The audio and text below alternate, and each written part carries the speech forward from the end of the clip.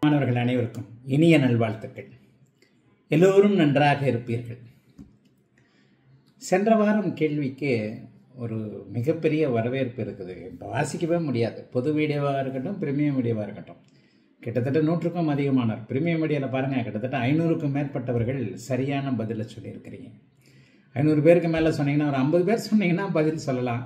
பேரை வாசிக்கலாம். ஐநூறு பேருக்கு மேற்பட்டவர்கள் பதில் சொல்லும்போது அதில் வந்து நிறைய இப்போ யாரையுமே வாசிக்க இயலாது போகும் என்பது உங்களுக்கு நல்லாவே தெரியும். இந்த நேரத்தில் ஒன்று ஒரு நல்ல விதத்தில் பகிர்ந்துக்க விரும்புகிறேன் நம்முடைய சுபத்துவ பாபத்துவ சூட்சுமொழு கோட்பாட்டை மாணவர்கள் மிக அருமையாக புரிந்து கொள்கிறீர்கள்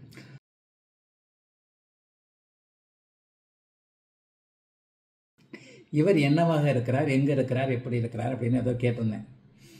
எல்லாரும் காவல்துறை அதிகாரி அப்படி இப்படின்னு போட்டு பின்னி பிணைஞ்சு எடுத்துட்டீங்க. முதல்ல இவர் மருத்துவராக இருக்கிறார்.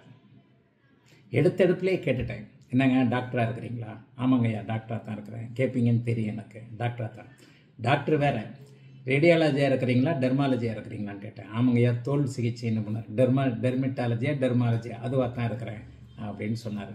திருச்சி மாவட்டத்திலே இருக்கிறார். அந்த மாவட்டத்திலே ஏன்னா எட்டு பன்னிரெண்டாம் இடங்கள் சுபத்துவமாக இல்லை. எத்தனை பாயிண்ட் இதில் பொருந்தி வருது பாருங்க. ஆனால் நிறைய பேர் மருத்துவ அதிகாரி காவல்துறை அதிகாரி அப்படின்லாம் கொடு ஆமாம் காவல்துறை அதிகாரி கடற்படை அந்த அதிகாரி இந்த அதிகாரிலாம் கொடுத்துருந்தீங்க. செவ்வாயுடைய காரகத்துவங்களை சற்று புரிஞ்சுக்கிறதுக்கு கொஞ்சம் தள்ளாடுறீங்க. செவ்வாயுடைய முதன்மை காரகத்துவம் மருத்துவம். அதற்கப்புறம் தான் அதிகாரம்னு சொல்லுவேன். முதன்மை காரகத்துவம் மருத்துவம். அதற்கப்புறம் தான் அதிகாரம்.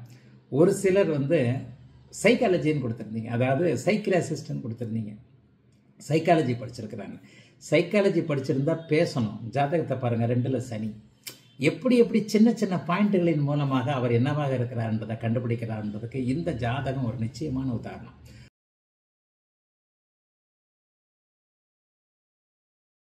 ஜாதகத்துடைய சிறப்பு என்ன? குறையாத பணம் என்பது இந்த ஜாதகத்துடைய சிறப்பு.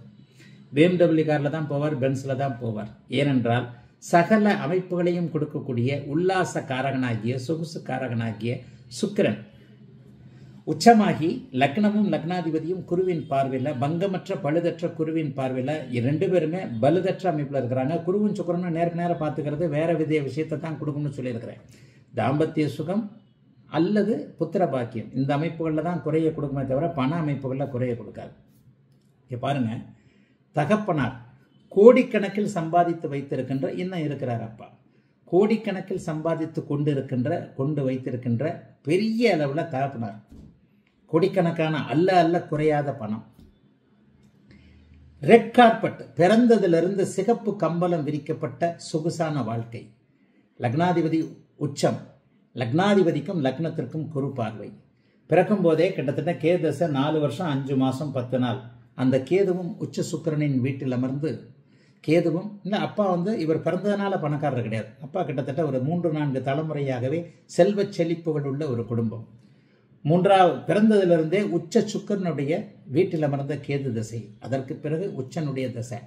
இருபத்தி நான்கு இருபத்தி ஐந்து வயது வரைக்குமே கஷ்டம் என்றால் என்னவென்றே தெரியாமல் வளர்ந்தவர். இப்போ கூட கஷ்டம்னா அவருக்கு என்னன்னு தெரியாது. ஆனால் அவர் நஷ்டப்பட்டுக்கிட்டு இருக்கிறார்.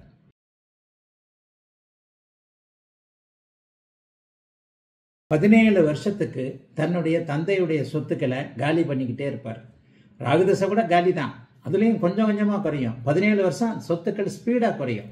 ஆனாலும் மிகப்பெரிய சொத்து அமைப்போடு இருக்கிறனால பெரிய அளவில் தாக்கம் வராது. கடைசி வரைக்குமே பிஎம்டபிள்யூ காரில் தான் போவார். கடைசி வரைக்குமே பங்களால தான் இருப்பார். இவருடைய அடுத்த அமைப்புகளில் இவருடைய சகோதரர்கள் இவருடைய குழந்தைகள் மறுபடியும் வேற ஏதாவது வந்து வந்து இதாக இருக்கும். அதாவது அல்ல அல்ல குறையாத பணம் இருக்கக்கூடிய ஒரு ஜாதகத்தின் உதாரண ஜாதகமாக இதை நான் போட்டுட்டேன். லக்னம் லக்னாதிபதி உச்சம். சூரிய தசை எப்போது ஆரம்பித்ததோ அந்த சூரிய தசை ஆதிபத்திய விசேஷம் இல்லாத ஒரு அமைப்பு. சூரிய தசை அப்படி ஒன்றும் பெரிய இதை செய்யாது. ஆனாலும் அங்கே கேதுவோட சூரியன் சேரக்கூடாது. சந்திரனும் கேதுவோடு செவ்வாயும் சனியும் சேருவது மட்டும்தான் சுற்றுமவலு சூரிய சந்திரர்கள் எந்த நேரத்திலும் எந்த அமைப்பிலும் ராகு கேதுக்களோடு சேரக்கூடாது. அப்படி சேர்ந்தால் அந்த தசைகள் அப்படி ஒன்றும் பலனை தராது.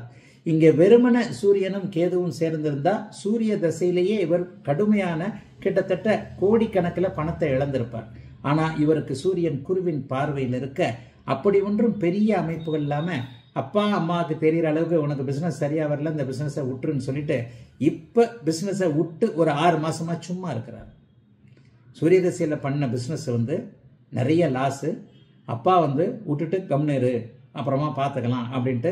எவ்வளோ இருந்தாலும் என்ன அதே காரில் பிஎம்டபிள்யூ காரில் போக போகிறாரு சாப்பிட போகிறாரு ஃபைவ் ஸ்டார் ஹோட்டலில் இருக்க போகிறாரு வர போகிறாரு அந்த அமைப்புகள் அந்த அந்தஸ்து லக்ன சுபத்துவத்தின் அடிப்படையில் இதைத்தான் நான் அடிக்கடி சொல்கிறேன் ஒரு பேசிக்காக அந்த ஜாதகம் எப்படிப்பட்ட ஜாதகம்? இந்த ஜாதகத்தை இன்றைக்கு நான் பிரிமியம் வீடியோவில் விளக்குறதுக்கான தன்மைகள் என்னன்னா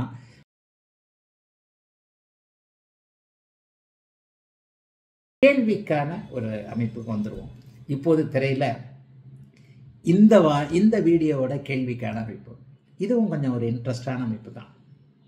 ஜாதகி ஒரு பெண் கிட்டத்தட்ட தொண்ணூறு வயதை நெருங்குகிறார் கிட்டத்தட்ட தொண்ணூறு வயதை நெருங்குகிறார் பாருங்க. பத்து ஒன்பது ஆயிரத்தி தொள்ளாயிரத்தி முப்பத்தி அஞ்சு அதிகாலை நாலு மணி ஏஎம் திரிகோணமலையில் இந்த ஜாதகி பிறந்திருக்கிறார். இந்த அதிகாலை நாலு மணி இல்லையா? இது ஒரு பத்து நிமிஷம் முன்ன பின்ன வரும். எப்போதுமே கொஞ்சம் வயதானவங்க நாற்பது ஐம்பது வயதிற்கு முற்பட்டவர்களுக்கெல்லாம் வந்து சரியான அளவுக்கு துல்லியமான நேரமாக இருக்காது. இந்த லக்கணம்ன்றது கன்ஃபார்ம் சரி நான் சொல்லிடுறேன். தொண்ணூறு வயதை நெருங்கக்கூடியவர் இன்னும் உயிரோடு இருக்கிறார்.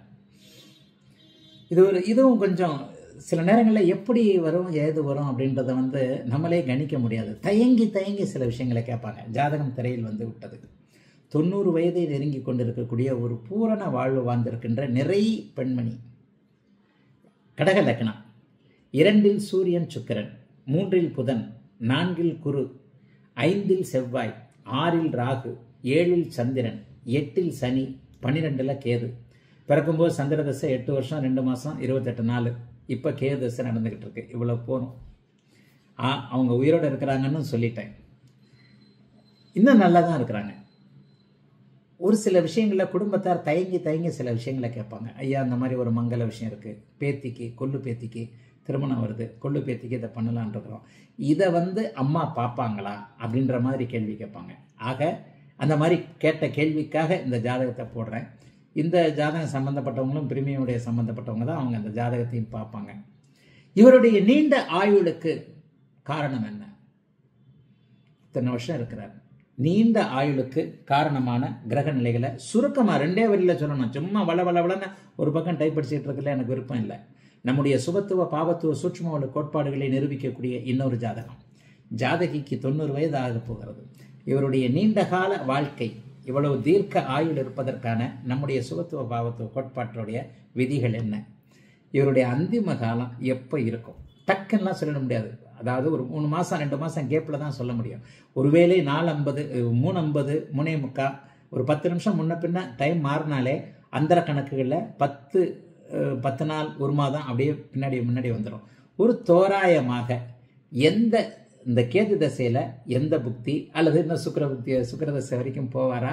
கேது தசையில் எந்த புக்தியில் இந்த மூதாட்டி இந்த பெருமகளார் இந்த அம்மையாருடைய அந்திம காலம் இருக்கும் என்பதை சொன்னால் போதும்.